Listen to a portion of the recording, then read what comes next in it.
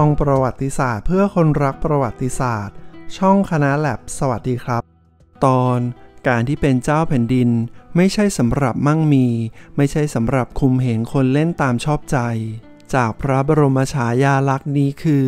สมเด็จพระเจ้าลูกยาเธอเจ้าฟ้ามหาวชิรุณหิต เป็นพระราชโอรสพระองค์ใหญ่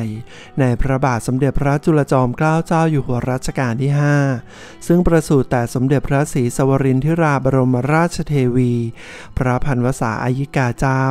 หรือสมเด็จพระนางเจ้าสว่างวัฒนา เมื่อวันพฤหัสบดีที่ 27 มิถุนายน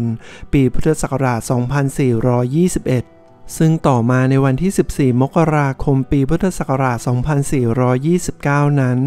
พระบาทสมเด็จพระจุลจอมเกล้าเจ้าอยู่หัวรัชกาลที่ 5 ทรงพระกรุณาโปรดเกล้าโปรดกระหม่อม ให้สถาปนา สมเด็จพระเจ้าลูกยาเธอเจ้าฟ้ามหาวชิรุณหิตขึ้นเป็น สมเด็จพระบรมโอรสาธิราช เจ้าฟ้ามหาวชิรุณหิต สยามบรมราชกุมาร ซึ่งเป็นตำแหน่งรัชทายาทที่นับว่าเป็นครั้งแรกที่มีในสมัยกรุงรัตนโกสินทร์ในตำแหน่งสมเด็จพระบรมโอรสาธิราช ซึ่งในการคราวนั้น พระบาทสมเด็จพระจุลจอมเกล้าเจ้าอยู่หัวรัชกาลที่ 5 พระราชบิดา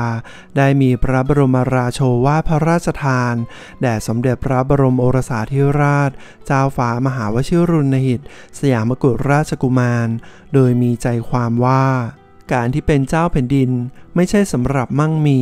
ไม่ใช่สำหรับข่มเหงคนเล่นตามชอบใจ ไม่ใช่เกลียดไว้แล้วจะได้แก้เผ็ด ไม่ใช่เป็นผู้สำหรับจะกินนอนสบาย ถ้าจะปรารถนาเช่นนั้น มีสองทาง คือบวชทางหนึ่ง เป็นเศรษฐีทางหนึ่งเป็นเจ้าแผ่นดินสำหรับแต่เป็นคนจน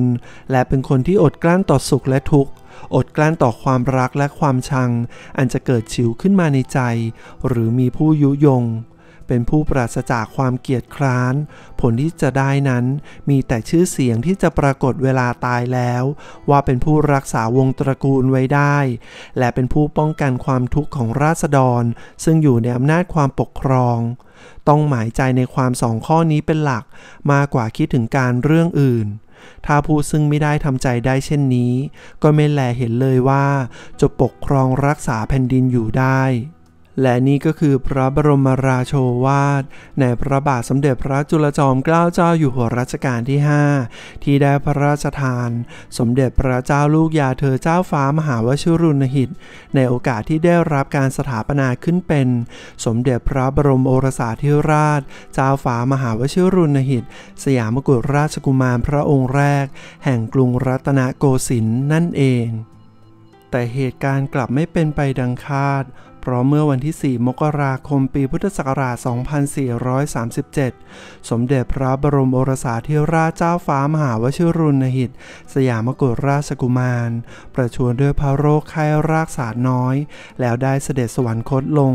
ขณะมีพระชนมายุได้เพียง 15พรรษา 6 เดือนกับอีก 7 วัน และสุดท้ายนี้ หากท่านมีคำแนะนำใด ๆ หรือมีข้อมูลใดที่เป็นประโยชน์อยากจะเผยแพร่แบ่งปัน อย่าลืมเขียนคอมเมนต์ไว้ด้านล่างได้เลยนะครับ ถ้าคุณชอบเรื่องราวต่างๆ ทางประวัติศาสตร์ อย่าลืมกดไลค์แชร์ Subscribe เป็นกำลังใจช่องคณะแลบกดกระดิ่งเตือนไว้จะได้ไม่พลาดในคลิปต่อไป ขอบคุณครับ